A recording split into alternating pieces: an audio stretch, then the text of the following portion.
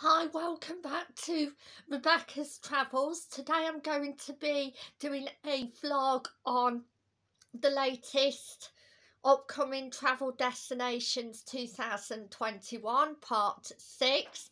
So let's jump right into it. Now, according to www.standard.co.uk the following destinations are the latest upcoming travel destinations 2021. So let's fire away with number one, which is island destinations around the world with low client volumes traditionally will be first to return to the market like Maldivian islands because they have in-house or shared doctors which will once again reassure clients temperature check may become the norm for a while.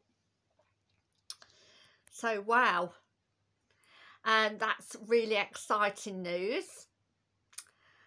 And number two, Scandinavian countries will also be trending in 2021. Scandinavia has uh, long been a draw for its cooler climate, a chance to see aurora Borealis, excuse my pronunciation, and for its chic approach to interiors, which combined with smart handling of the COVID 19 at crisis means the area could be even more of a draw in the, ne uh, the next coming years. So countries like Sweden, Finland, Norway and Iceland in particular have been trending at their own well have been treading their own path over the COVID-19 which um, is much less severe restrictions and offer some incredible experiences. So if you go to those uh, countries, uh, because they have lower COVID-19 levels, um, there are far less severe restrictions, which is again good news. Um, uh, you would just have to put up with a, a cooler climate but again it's great for people that like cooler climates um, especially in the summer um, that don't like to go anywhere too hot.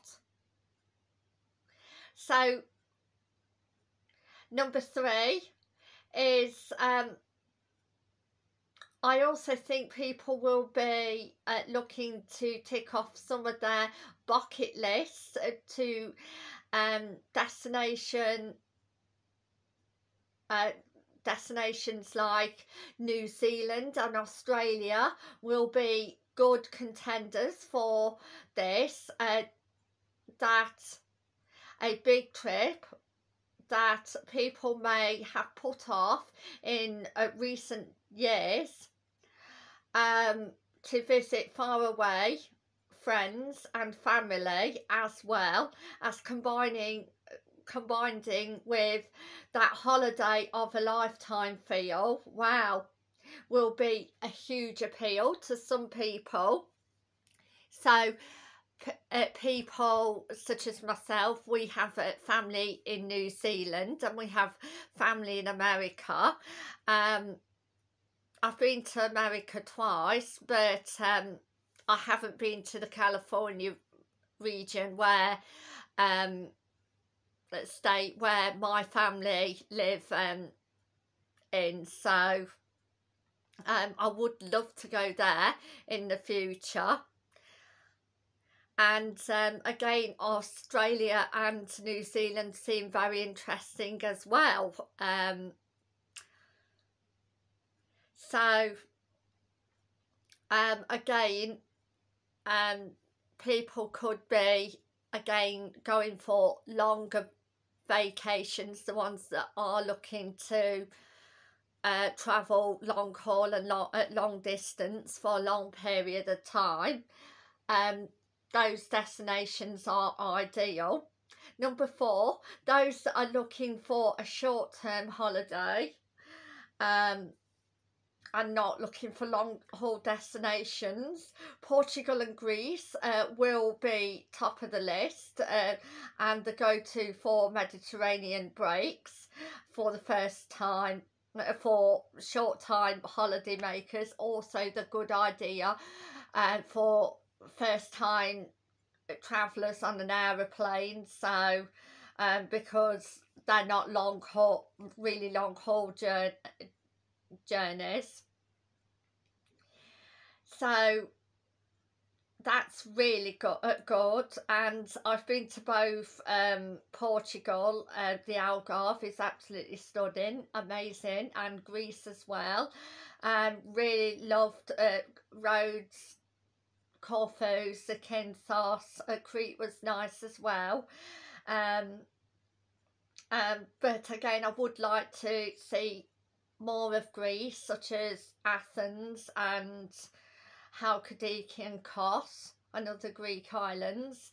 Um, so yes, um, also topping the uh, list as well, number five, um, destinations in the UK such as uh, Blackpool, Brighton, Scarborough, Falmouth, Tenbury, um, that also going to be for people that want to have a staycation and either want to drive or go on a coach trip um, or by train.